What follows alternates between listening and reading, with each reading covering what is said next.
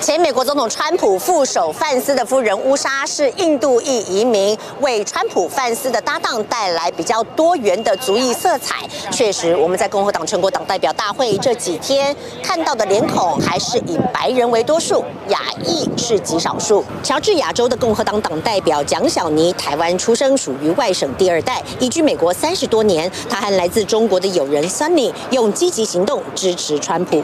我们是蛮容易，可是我们自己弄啊，没有办法去等他们，对不对？川普如果这次不赢了，大家都可以洗洗睡睡了，美国就没有了。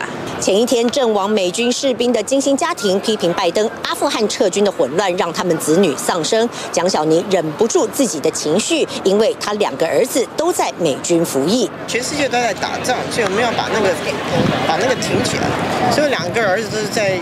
You know just prepare for war 那样子，所以希望 Trump 进来，然后就是 you know stop all 的那样子。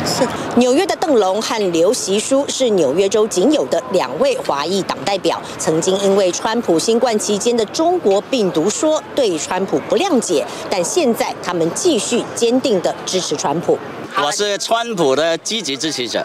对吧？就感觉到他是很适任当一个世界级的国家领导人。夏威夷的林主权小时候在台中北屯住过，现在他在凭夏威夷州联邦参议员的党内初选。